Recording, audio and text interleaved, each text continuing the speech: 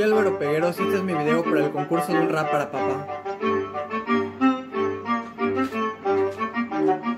Esto es para el Día del Padre, tercer domingo de junio que se puede festejar en casa aunque caigan diluvios. Un rap que no es para mí, va dedicado a mi padre que en toda la cuarentena no ha hecho más que esforzarse. Algunos en nuestras vidas tenemos mamá y papá, unos tienen a papá que juega el papel de mamá, otros solamente madre que cubre ser un papá. El detalle no es quien lo ocupe, es quien se sepa ocupar, pues en mi caso mi papá es símbolo de seguridad, así como mi abuelito lo ha sido con mi papá y me doy cuenta que para ello no existe poca edad, porque donde ayer refugio es donde te vas a quedar. Es honorable el orgullo de aquello en lo que trabaja, el trabajo que sustenta y trae de comer a la casa. El sobrenombre de padre amerita una ocupación que no se gana quien te olvida, sino quien de ti cuidó.